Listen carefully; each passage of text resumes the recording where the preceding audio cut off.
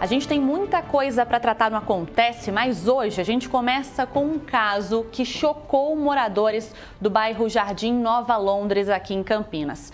Uma idosa de 76 anos matou a própria filha de 56 com golpes de faca e depois ainda tentou se matar. Uma história muito triste que a Lucimeire Ramalho acompanha, está aqui comigo. Lu, boa tarde para você. Suas informações, por favor. Oi, Bárbara, boa tarde para você, para todo mundo que nos acompanha. Acontece um caso que chocou os moradores ali do bairro Jardim Nova Londres e que chamou muito a atenção, né?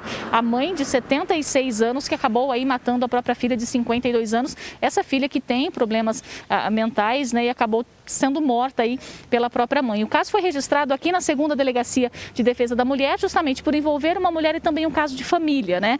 Esse caso aconteceu durante a madrugada de hoje, por volta das 5 horas da manhã, de acordo com a Polícia Militar. Essa informação chegou para eles por volta desse horário. Os policiais foram até a residência dessa mulher e quando chegaram lá, já encontraram esta vítima aí de 52 anos já sem vida.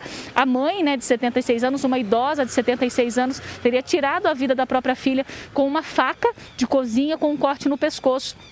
O SAMU foi chamado, mas quando chegou lá, ela já estava morta. A mãe também, de acordo com informações aí da polícia, tentou tirar a própria vida também com um corte no pescoço, mas foi socorrida até o hospital da PUC Campinas. Nesse local, nessa casa, viu, Bárbara, tem um homem também que morava ali com elas. É um homem que já cuidava das duas quando elas moraram em uma casa de repouso e também morava por ali justamente para ajudar a família. Né? Ele ficou totalmente abalado, disse que foi acordado por essa idosa, que afirmou que já tinha resolvido a situação da filha. Quando ele foi até o quarto, a filha já estava ali sem vida, né? Já não tinha mais vida. Então é uma situação bastante complicada, de acordo com esse homem que mora ali, que já passou algumas informações para a polícia. Essa idosa tinha depressão já há um certo tempo, já dizia que ia tirar a própria vida e também tirar a vida da filha. Então foi um caso que chamou a atenção.